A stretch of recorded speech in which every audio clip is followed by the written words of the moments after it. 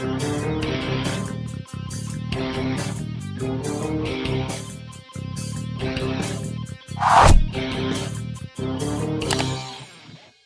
Eu assisti a todos os filmes que estão concorrendo ao Oscar de melhor filme e eu vou falar sobre todos eles para tentar ajudar vocês nos bolões do Oscar. Não que isso vai ajudar muito porque eu sou péssimo nessa porra dessa brincadeira, eu nunca acerto nada nos bolões do Oscar. Mas durante o Oscar, se você me acompanhar nas redes sociais, Twitter, Facebook, você vai me ver dizendo que eu acertei tudo, que eu não errei uma única indicação. eu faço isso de sacanagem. Eu vejo um monte de gente que não entende bolhufas de cinema dizendo que acertou tudo. Então eu também acerto tudo, ué. Fazer o quê? O Oscar 2017 vai acontecer no dia 26 de fevereiro, são 24 categorias e parece que dessa vez a campanha com mais diversidade funcionou. Em todas as seis principais categorias tem pelo menos um ator, atriz ou diretor negros. Mas é uma diversidade capenga, onde estão os japoneses, os árabes, os brasileiros, os samoanos, Deixemos essa bobagem de lado e vamos aos indicados de melhor filme. Vale dizer que nesse ano não tem nenhum blockbuster entre os indicados a melhor filme e nenhum grande sucesso de bilheteria. Filmes como de Mate, O Regresso, Gravidade, A Vida de Pi tiveram bilheterias que passaram dos 500 milhões de dólares. Nesse ano, o filme indicado com a maior bilheteria é La La Land, cantando Estações, com 227 milhões de dólares até agora. Ah, existe uma fórmula para ganhar um Oscar, basta seguir alguns padrões. Faça um filme sobre uma história real. Os velhinhos da academia adoram histórias reais, velhinhos mesmo.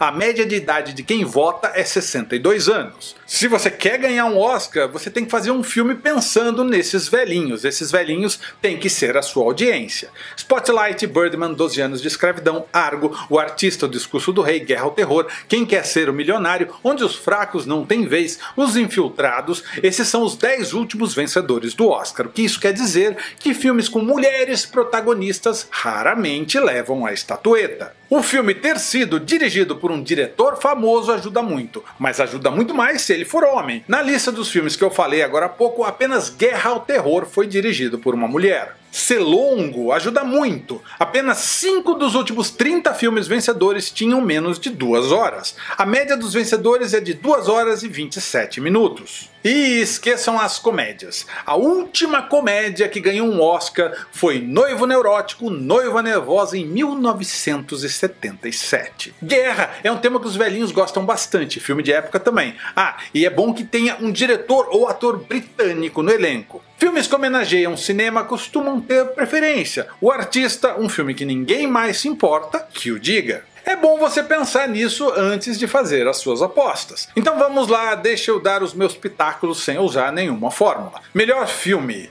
La La Land cantando estações. Mia, uma aspirante atriz que serve café, e Sebastian, um músico de jazz desanimado com a vida, se esbarram e juntos começam a dançar para ver se a vida melhora. A verdade é que só melhora quando eles param de dançar, presta bem atenção nisso. O hype é tão grande, mas tão grande que teve crítico com culhões para dizer que La La Land é o Casablanca desta geração. La La Land é tão bom, mas tão bom, que qualquer pessoa com QI abaixo de 3 dígitos consegue perceber que o público já se esqueceu dele e só vai comentar novamente quando o filme ganhar um Oscar, provavelmente porque os velhinhos gostam de homenagens ao cinema. Moonlight, sob a luz do luar, não sofre do mesmo hype de La La Land, mas tem uma coisa estranha acontecendo por aqui. Teve crítico que comparou com Brokeback Mountain e eu acho essa comparação preguiçosa. Será que só eu perdi alguma coisa? Moonlight é um belo filme contado de maneira leve, apesar do conteúdo pesado. O problema aqui é que é um filme chato, que demora para passar. Num ano tão marromenos como 2016 eu até entendo essa indicação. Manchester à beira-mar. Quanta desgraceira! Não tem o nível da desgraceira de um Preciosa, mas Manchester à beira-mar consegue te jogar para baixo e te manter lá o tempo todo.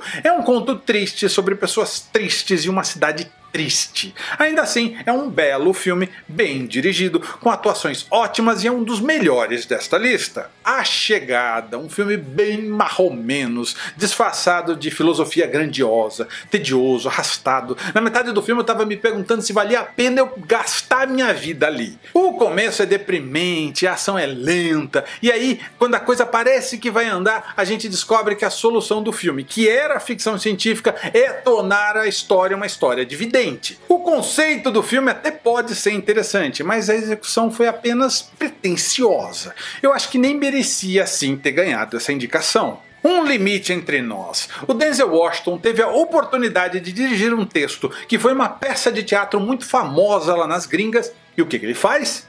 Uma peça de teatro para ser vista no cinema, o que é extremamente irritante e que me deixou desapontado. Não houve a transição de mídia, isso me incomodou muito. É claro que ele aproveitou para transformar o filme em um monólogo, onde ele fala por horas e horas e horas sem parar. Alguém, por favor, faça o Denzel Washington calar a boca por um instante. É um dos filmes mais chatos que eu vi nos últimos anos. Lion, uma jornada para casa. Lion tem vários dos elementos que os velhinhos da academia gostam. A história é real, o tem ator britânico, tem criança sofrendo, essas coisas. Não é o melhor filme de todos os tempos, mas talvez seja o melhor filme entre os indicados, pelo menos é o mais honesto e é o meu preferido. O pecado aqui foi terem deixado o Sunny Powar, o ator que faz o pequeno Saru, fora da indicação de melhor ator. O moleque destrói todos os indicados com o pé nas costas. Estrelas Além do Tempo. Sabe filme Sessão da Tarde? Estrelas Além do Tempo fala sobre o sofrimento das mulheres negras na época em que os Estados Unidos separavam negros de brancos. É um tema pesado, mas é escrito e dirigido como se fosse um filme de Sessão da Tarde. Não deixa de ser um bom filme, é bom de assistir e até divertido, é leve, emocional, mas tirando a regra do filme ser baseado em história real e de época, não tem nada que justifique a indicação ao Oscar.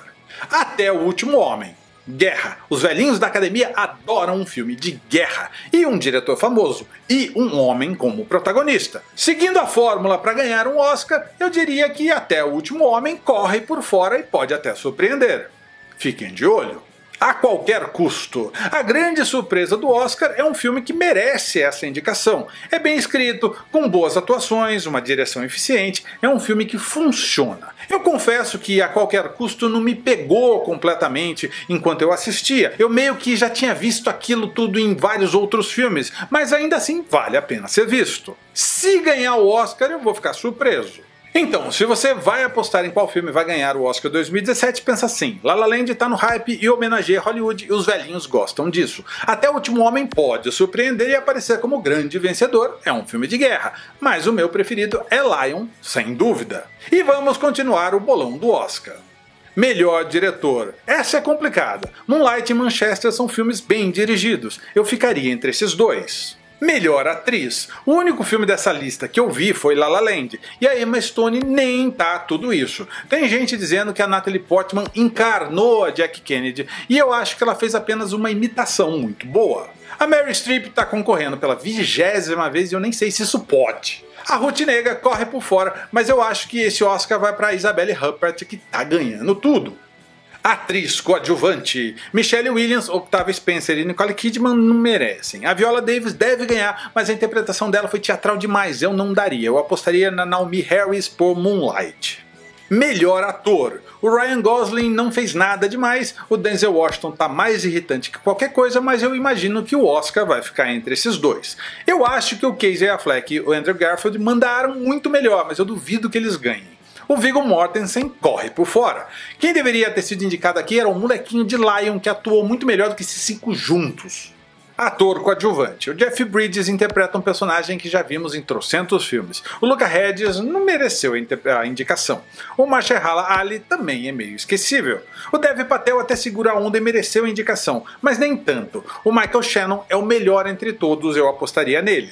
Recapitulando, as minhas apostas seriam curta de animação, filme estrangeiro, documentário de curta-metragem e curta-metragem, eu não vi nenhum, eu teria que apostar esses no chute mesmo. Documentário eu também não vi nenhum, mas eu acho que Eu Não Sou Seu Negro leva. Ave César leva design de produção. Esquadrão Suicida, cabelo e maquiagem. Jack leva figurino. Rogue One, mixagem de som. La La Land deve levar edição de som. Mogli leva efeitos especiais. A edição fica entre a qualquer custo e até o último homem. Trilha sonora e canção original vai para La La Land. Fotografia também La La Land. Animação deve ficar com Zootopia. Roteiro original, o Lagosta deveria ganhar, mas sei lá. Roteiro adaptado, Lion. Ator coadjuvante, Michael Shannon. Para ator, deveria ficar entre Casey Affleck e Andrew Garfield. Atriz coadjuvante, Naomi Harris. Atriz, Isabelle Huppert. Melhor direção fica entre Moonlight e Manchester com La La Land correndo por fora. O Oscar de melhor filme fica entre La La Land e Até o Último Homem. O meu preferido é Live. Qual o seu filme preferido para ganhar o Oscar 2017? Deixe a sua resposta nos comentários e inscreva-se no canal Nerd Rabugento. Obrigado por assistir a este vídeo e assista aos outros vídeos do canal, são mais de 400 vídeos para você se divertir. E nas próximas semanas teremos novidades, fique de olho, é capaz de eu voltar com ao vivo e surgir com um site chamado Nerd Rabugento. Quem sabe?